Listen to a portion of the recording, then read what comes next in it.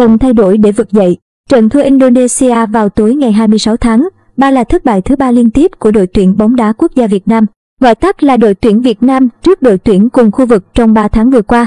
Cùng với kết quả không mấy thành công ở các giải đấu buộc Liên đoàn bóng đá Việt Nam VFF phải thỏa thuận với ông Philip Trausier rời ghế huấn luyện viên HLV trưởng. Vấn đề trên đã đặt ra việc quan trọng nhất hiện nay chính là những giải pháp của VFF để vực dậy tinh thần và chuyên môn của đội tuyển Việt Nam, đồng thời cũng đừng lãng phí niềm tin của người hâm mộ, đừng để quay lại thời kỳ khủng hoảng. Huấn luyện viên Trausier rời đi là lẽ tất yếu sau màn trình diễn có thể nói là thảm họa khi đội tuyển Việt Nam lần lượt bị loại ở các mục tiêu lớn. Một giai đoạn chỉ kéo dài một năm nhưng sẽ là cột mốc để so sánh trong suốt nhiều năm sau này. Đội tuyển Việt Nam tính từ năm 1991 đến nay đã có 29 lần thay đổi huấn luyện viên trưởng theo từng giai đoạn.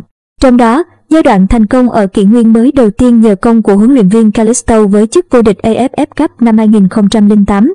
Phải mất đến 10 năm sau, đội tuyển Việt Nam mới trở lại vinh quang trong giai đoạn được cho là thành công nhất của bóng đá Việt Nam từ trước đến nay dưới thời huấn luyện viên Park Hang-seo với một chức vô địch AFF Cup và hai huy chương vàng SEA Games. Khoảng thời gian giữa hai giai đoạn thành công này có thể nói là giai đoạn khủng hoảng của bóng đá Việt Nam ở đấu trường quốc tế. Huấn luyện viên Calisto rời ghế huấn luyện viên trưởng vào năm 2008 khi ông cho rằng đã không còn cảm thấy hạnh phúc ở đội tuyển Việt Nam. Đây là một cột mốc đánh dấu cho quá trình đi xuống gần như không thể kiểm soát của bóng đá Việt Nam. Sau thời huấn luyện viên Calisto cho đến năm 2017, đội tuyển Việt Nam đã có thêm 7 huấn luyện viên nữa giữ chiếc ghế nóng, chưa kể đến hai lần tạm quyền của huấn luyện viên Mai Đức Chung và một lần tạm quyền của huấn luyện viên Nguyễn Văn Sĩ trong thời gian chờ bổ nhiệm huấn luyện viên mới. Điều đó đồng nghĩa với bảy triết lý bóng đá đã được áp dụng vào đội tuyển Việt trong khoảng 9 năm trong giai đoạn chuyển tiếp từ thế hệ Công Vinh sang thế hệ Quang Hải như thời điểm hiện tại. Giai đoạn đó, đội tuyển Việt Nam đã áp dụng nhiều cách như kết hợp với triết lý của bóng đá Đức, Nhật Bản và cả sử dụng huấn luyện viên nội nhưng cũng chỉ đem về sự thất vọng. Khi đến chúc mừng cán bộ, công chức Cục Thể dục Thể thao nhân 78 năm truyền thống của ngành vào sáng ngày 27 tháng 3, Bộ trưởng Bộ Văn hóa, Thể thao và Du lịch Nguyễn Văn Hùng tiết lộ, sau trận đội tuyển Việt Nam thua Indonesia 0-3, rất nhiều người hâm mộ đã nhắn tin cho ông. Điều đó chứng tỏ sự quan tâm của người dân dành cho bóng đá Việt Nam nói riêng và thể thao nước nhà nói chung là rất lớn. Buồn đấy nhưng vẫn yêu đấy, đông đảo cổ động viên đang ngóng trông VFF sẽ tìm ra được một thuyền trưởng phù hợp với bóng đá Việt Nam để đưa những chiến binh sao vàng lập nên những chiến công làm nức lòng người hâm mộ. Trong đó, huấn luyện viên hữu thắng của đội tuyển Việt Nam và U23 Việt Nam năm 2017 đã chịu nhiều áp lực nhất khi cựu huấn luyện viên Sông Lam Nghệ An thức. Bài liên tiếp và cao trào là bị loại ở vòng bảng SEA Games cũng ở năm này dẫn đến quyết định từ chức. Cho đến khi huấn luyện viên Park Hang-seo tiếp quản ghế nóng và leo lái đội tuyển Việt Nam cũng như U23 Việt Nam, thành công tại các giải đấu châu lục thì niềm tin nơi người hâm mộ mới bắt đầu quay trở lại. Hoàn cảnh của đội tuyển Việt Nam hiện tại cũng không quá khác biệt và khá nhạy cảm như giai đoạn sau khi huấn luyện viên Calisto từ chức. Việc lựa chọn huấn luyện viên thay thế huấn luyện viên Park Hang-seo đã thất bại sau một năm với triều đại của huấn luyện viên Trausier. Hiện tại, phong độ của đội tuyển Việt Nam đang rất thấp và niềm tin nơi người hâm mộ có thể cũng đã gần mức tối thiểu dành cho đội tuyển. Việc là làm sao để tìm ra người có thể phù hợp và tiếp nối những thế mạnh của huấn luyện viên đi trước, đồng thời khắc phục những hạn chế không phải là chuyện một sớm một chiều. Ngoài việc lựa chọn huấn luyện viên thì việc tạo ra một thế hệ cầu thủ có chất lượng đảm bảo tiếp nối được các đàn anh cũng rất quan trọng. Có thể thấy rằng, đội tuyển Việt Nam sau lứa công phượng, Quang Hải dù các cầu thủ này vẫn đang tuổi có thể thi đấu tốt, vẫn chưa có cầu thủ nào thực sự nổi bật có thể bước lên để lĩnh xướng các tuyến. Dù một số cầu thủ trẻ từ đội U23, U19 được đôn lên thi đấu trong màu áo đội tuyển dưới thời huấn luyện viên Trauser nhưng cũng chỉ dừng lại ở khoảnh khắc trận đấu như Đinh Bắc, Văn Khang hay như Tuấn Hải dù chơi tốt ở cấp câu lạc bộ nhưng lại chưa cho thấy sức ảnh hưởng ở đội tuyển quốc gia. Mỗi đội tuyển bóng đá quốc gia đều có lúc thịnh, lúc suy, nhưng nhìn vào hiện tại thì bóng đá Việt Nam dường như đang rơi nếu như không muốn nói là rơi tự do. Không phải ai cũng chấp nhận thực tế đáng buồn này, trong đó rõ ràng có VFF, đơn vị có trách nhiệm trực tiếp. Đã 6 năm trôi qua kể từ chức vô địch AFF gần nhất, đội tuyển Việt Nam hiện tại vẫn đang loay hoay để giải bài toán quay lại với đỉnh cao. Để gây dựng lại đội tuyển Việt Nam cần có thời gian. Đầu tư cho bóng đá chuyên nghiệp ngoài yếu tố đi tắt là nhập tịch cầu thủ thì đòi hỏi phải có quá trình với nhiều yếu tố tổng hợp và khá tốn kém. Trong đó có việc lựa chọn huấn luyện viên có triết lý phù hợp rất quan trọng nhưng không thể nóng vội.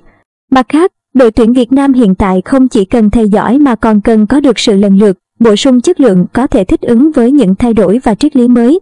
Bên cạnh đó cũng cần nhìn nhận vai trò và trách nhiệm của VFF khi để xảy ra tình trạng hiện tại của đội tuyển Việt Nam.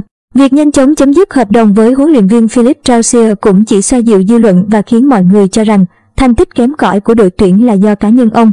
Tuy nhiên, nhìn nhận khách quan hơn, để vận hành cỗ máy đội tuyển Việt Nam một cách hiệu quả, chỉ đổ cho trách nhiệm cá nhân huấn luyện viên là chưa đủ. Với việc thua Indonesia cả hai trận trong khuôn khổ vòng loại thứ hai World Cup 2026 khu vực châu Á, đội tuyển Việt Nam hầu như không còn cơ hội đi tiếp và sẽ phải dự vòng đấu loại cho giải vô địch bóng đá châu Á ASEAN Cup, như vậy coi như phải làm lại từ đầu. Ở các trận đấu sắp tới, khi đội tuyển nước ta đã không còn mục tiêu giành điểm thì đó sẽ là cơ hội tốt để các cầu thủ trẻ được thử sức.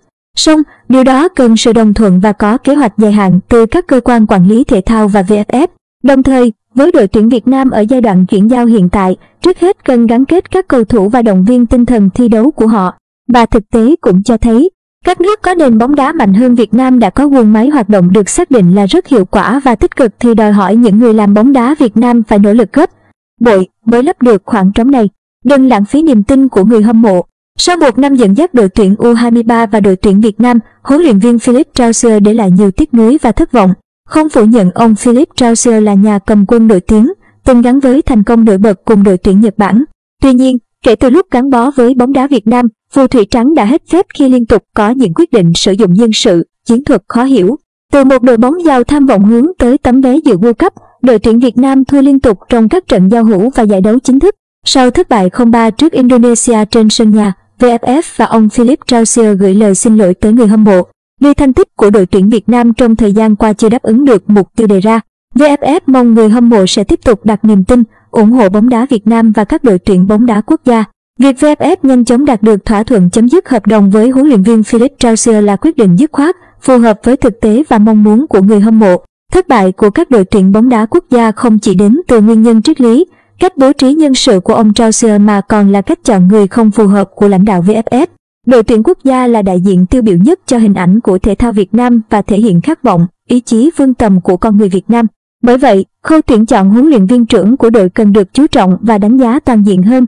Nếu nhà cầm quân đủ tài, đủ đức, phù hợp với con người Việt Nam và biết phát huy sức mạnh của từng cá nhân thì sẽ tạo nên một khối đoàn kết thống nhất. Nếu thuyền trưởng bảo thủ, không hiểu học trò và văn hóa bóng đá của nước sở tại thì sẽ khiến cả nền bóng đá thụt lùi. Gần như đã hết cơ hội tại vòng loại World Cup 2026, bóng đá Việt Nam phải chờ thêm 4 năm nữa để nuôi tham vọng World Cup. Sự lỡ dở này ảnh hưởng nhiều đến kế hoạch, chiến lược phát triển bóng đá Việt Nam và thế hệ cầu thủ hiện tại. Một năm gắn bó với ông Trausier đã mang lại kết quả bết bát, hệ quả mà bóng đá Việt Nam nhận lại rất lớn. Ông Trausier cho rằng 80% cổ động viên không ủng hộ ông và đội tuyển. Một bộ phận người hâm mộ đã bỏ về sớm khi trận đội tuyển Việt Nam gặp Indonesia vẫn chưa kết thúc. Đó là biểu hiện của việc người hâm mộ mất niềm tin vào đội tuyển quốc gia và chiến lược phát triển bóng đá nước nhà.